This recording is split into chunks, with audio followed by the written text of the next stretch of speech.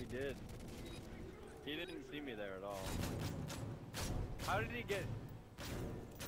How did he get hit markers at me through the bomb, like when I was laying down? I don't understand that. Your work is appreciated. Well done. Alright.